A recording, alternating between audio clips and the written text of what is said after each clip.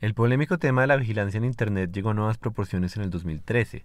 Ese año nos enteramos, gracias a Edward Snowden, de que la NSA ha estado espiando las comunicaciones digitales de millones de personas en todo el mundo. ¿Cómo es posible que pase esto? ¿Qué quiere decir? ¿Y qué podemos hacer al respecto? Bien, primero lo primero, las reglas del juego. La naturaleza digital de la información en Internet implica que todo lo que hacemos en línea, absolutamente todo, deja una huella.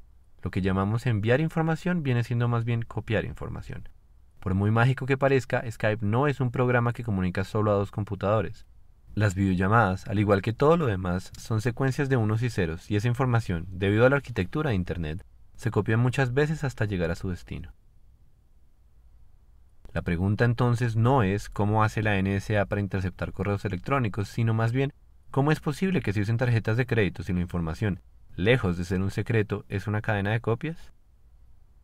Y la respuesta es Cryptography criptografía. Buena parte de la información en Internet está codificada para que terceros, aunque la puedan ver, no la puedan leer.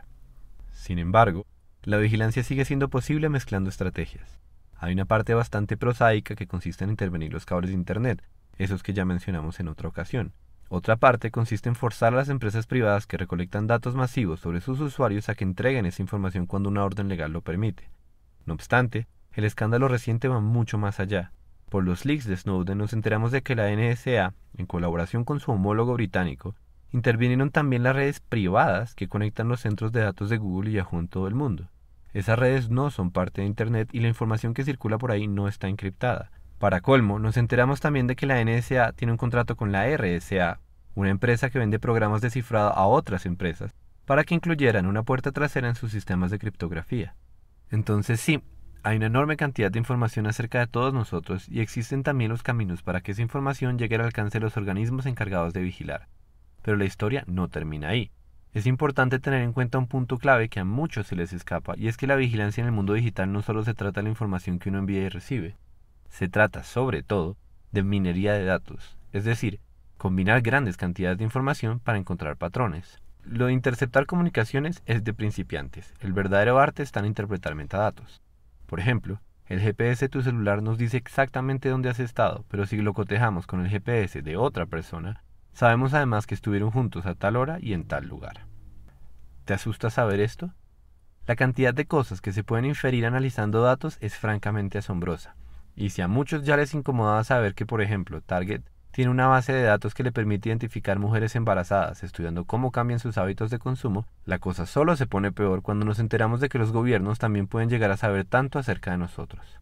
Ahora bien, siendo un hecho que es mucho más fácil observar nuestro comportamiento en este momento que en cualquier otro de la historia, la pregunta es, ¿con qué fin se hace todo esto? Debemos tener en cuenta que la información que producimos a diario es valiosa en muchos sentidos y es por eso que hay tanta gente interesada en recopilarla y analizarla. Sirve para investigar problemas sociales y científicos, sirve para sostener modelos de negocios como el de Google y sirve también para vigilar a la población. Lo cual nos deja con un enorme problema de confianza. ¿Podemos estar seguros de que esa información será utilizada para el bien de la sociedad? Obviamente esa pregunta no la podemos responder acá, pero sí es importante entender que la vigilancia no solo le concierne a los bandidos. Para empezar, la información tiene distintos sentidos en distintos contextos. Por eso es tan difícil dar una definición de privacidad que abarque todas las cosas que unos y otros consideran privadas. En últimas, nuestro derecho a la privacidad es el derecho a controlar el modo en que se interpreta cierta información sobre nosotros mismos, y eso implica tomar decisiones sobre los contextos en los que queremos que se conozcan nuestros datos personales. Otra gran razón por la cual esto no es solo un problema para los bandidos es que en cierto sentido todos somos criminales. Sonará raro porque es algo en lo que tal vez no pensamos seguido, pero el hecho es que las leyes nunca son perfectas. Antes bien, hay tantas leyes y son a veces tan ambiguas que todos nos salimos del marco legal sin darnos cuenta. Por demás, es casi imposible encontrar a una persona que no haya roto alguna ley a conciencia, que arroje la primera piedra al que nunca ha descargado un MP3. El miedo puntual que se sigue a este argumento es el posible uso de justicia selectiva. Si es verdad que todos tenemos información que puede ser usada en nuestra contra, eso pone en riesgo a los activistas, a los periodistas, a los políticos y en general a cualquier persona con un perfil potencialmente alto, algo que no le conviene a ninguna sociedad. Sigue siendo exagerado afirmar que vivimos en el mundo de 1984, la famosa obra de Orwell que tanto se cita en este debate, pero eso no quita que este es un tema que merece tu atención y que hace parte del panorama político y cultural de Internet. Lo que antes se temía como un escenario hipotético resultó ser muy real en el momento en que Snowden hizo público el caso de la NSA. Ahora sabemos con certeza que los gobiernos, tanto el de Estados Unidos como los de otros países, sí vigilan dentro y fuera de sus respectivos territorios. Lo hacen en nombre de la seguridad, una causa sensata, pero la seguridad también sirve como una justificación para todo tipo de excesos porque es una tarea que nunca tiene fin. Así pues, la información privada sobre cientos de millones de personas inocentes es recolectada con la esperanza de cazar criminales, y no importa cuántos derechos sean violados en el camino, siempre se puede argumentar que seguridad y privacidad son mutuamente excluyentes. ¿Lo son?